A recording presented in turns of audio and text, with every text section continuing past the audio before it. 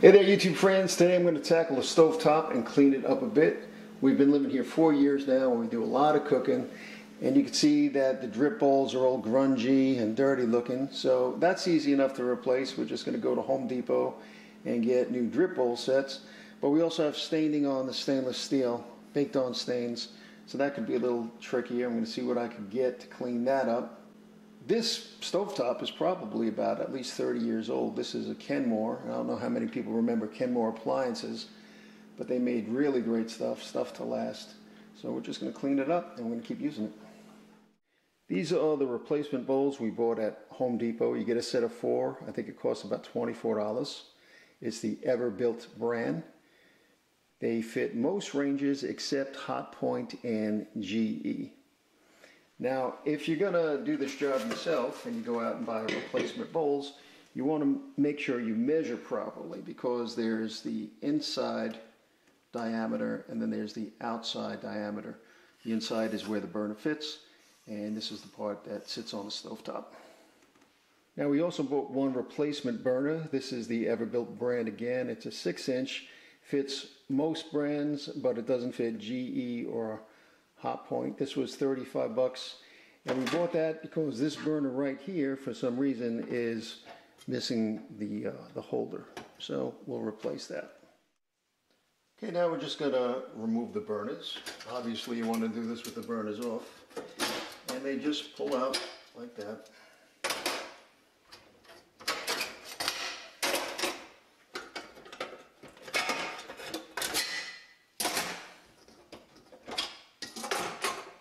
The trays just pop out like that.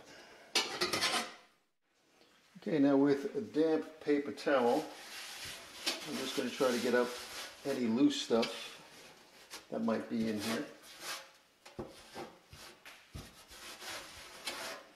And you could also lift it up like that and get all the loose stuff up. Okay, the product I decided on was this Pro Commercial Use Easy Off.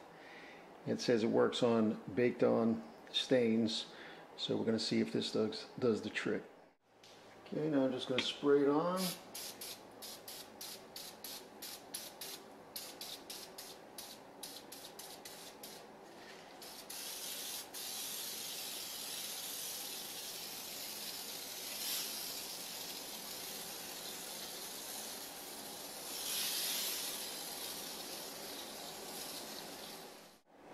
Okay, now you can see it's starting to foam and breaking up all that grease. So we're going to let it sit about 15 minutes and then we'll wipe it down with a damp sponge. Okay, now I let it sit for about 20 minutes, so now I'm just going to hit it with a damp sponge and see how it looks. Oh yeah, that works real good.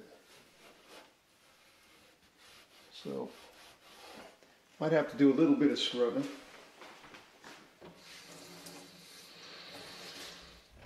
Now this doesn't really have any strong odor to it, but I do have the windows open. And it recommends that you open windows and use it in a ventilated area. Well, it really breaks up that grease, as you can see. Okay, that's what it looks like after the first treatment, but we still have some stuff along here, so I'm just going to hit it again.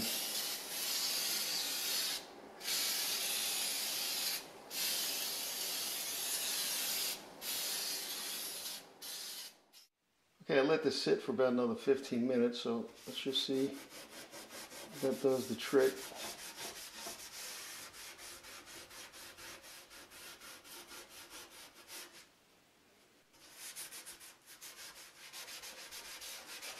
I think I did it. Might be a couple of stubborn spots, but I could come back and get that.